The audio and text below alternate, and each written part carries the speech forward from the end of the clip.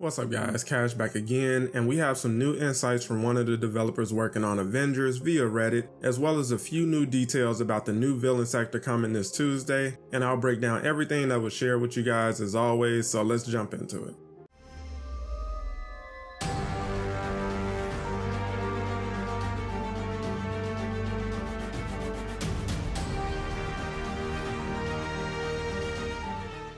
So a user over on Reddit made a quick list of modern comic skins he'd like to see added in the game at some point, and on the list he's got the new Black Widow outfit with the hoodie, the Iron Man Prime armor, Hawkeye's modern look, the Black Panther outfit with the collared cape and the gold accessories, Kate Bishop's look from the comics, and Thor with the golden metal arm and hammer, and developer Nick E responded saying, Some days are harder to keep stuff under my head than others, lightly teasing that something or possibly a couple of these outfits may be in a development pipeline to arrive in the marketplace or shipments at some point. And a few weeks back, Nick confirmed that new skins for Black Panther were currently being worked on, so it's always nice to get a small idea of what's coming even if the devs can't say much at the time. Nick also responded to a comment about the new Monica villain sector coming this Tuesday, and the comment was about the new mission possibly being a rehash of the Monica boss fight from Black Widow's portion of the campaign, and Nick confirms that this will be a unique mission, saying, no, this is a new mission. I mean, it's set in an AIM base, so it will look like an AIM base, but there's no existing mission that parallels it like the Super Adaptoid OLT has.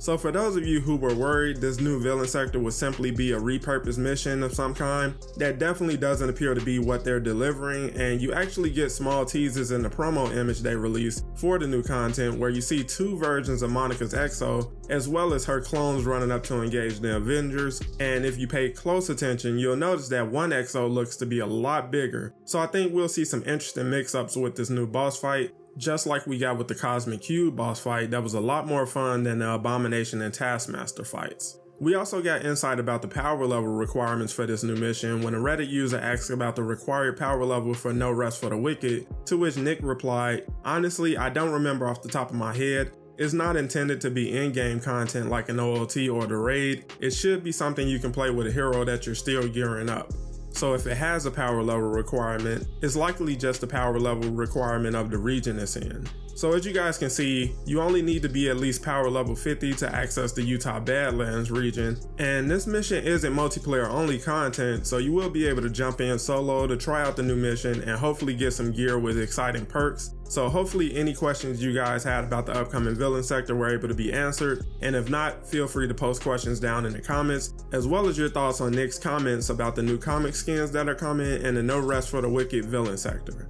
Let me know down below and make sure to leave a like if you enjoyed the video and subscribe for more Marvel's Avengers content every week. And if you're interested in picking up Avengers merch, shop with Fandom and make sure to use my code in the description to get an additional 10% off. Thanks for watching guys and I'll catch you on the next one.